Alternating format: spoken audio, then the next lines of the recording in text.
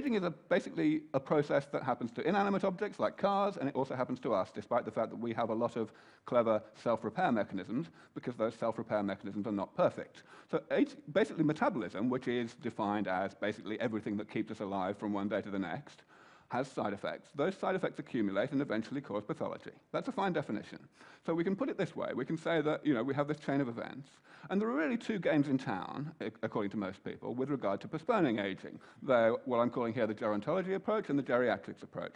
The geriatrician will intervene late in the day when pathology is becoming evident, and the geriatrician will try and hold back the sands of time and stop the accumulation of side effects from causing the pathology quite so soon. Of course, it's a very short-termist strategy. It's a losing battle because the um, things that are causing the pathology are becoming more abundant as time goes on. The gerontology approach looks much more promising on the surface because it's, you know, prevention is better than cure. But unfortunately, the thing is that we don't understand metabolism very well. In fact, we have a pitifully poor understanding of how organisms work. Even cells we're not really too good on yet. We discovered things like, for example, RNA, interfer RNA interference only a few years ago, and this is a really fundamental component of how cells work. Basically, gerontology is a fine approach in the end, but it is not an approach whose time has come when, when we're talking about intervention. I'm going to add a little bit to my description of aging. I'm going to use this word damage to, to, to denote these intermediate things that are caused by metabolism and that eventually cause pathology.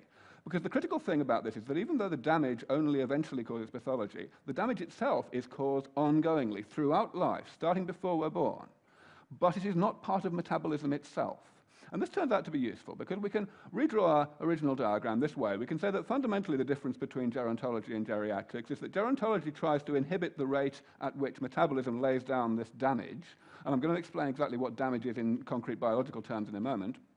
And Geriatricians try to hold back the sands of time by stopping the damage converting into pathology, and the reason it's a losing battle is because the damage is continuing to accumulate.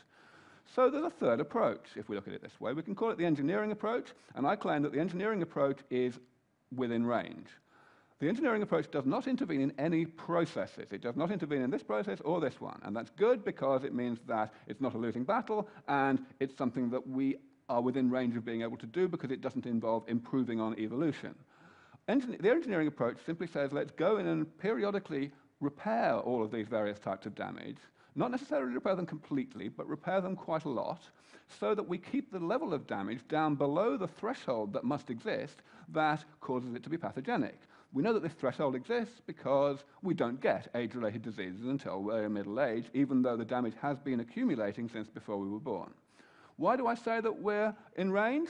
Well, this is basically it. That's the point about this slide is actually the bottom. If we try to say which bits of metabolism are important for aging, we will be here all night, because basically all of metabolism is important for aging in one way or another. This list is just for illustration, it is incomplete. The list on the right is also incomplete. It's a list of types of pathology that are age-related, and it's just an incomplete list. But I would like to claim to you that this list in the middle is actually complete. This is the list of types of thing that qualify as damage, side effects of metabolism that cause um, pathology in the end, or that might cause pathology, and there are only seven of them. They're quite, they're categories of thing, of course, but there's only seven of them. Cell loss, mutations in, the, in uh, chromosomes, mutations in the mitochondria, and so on.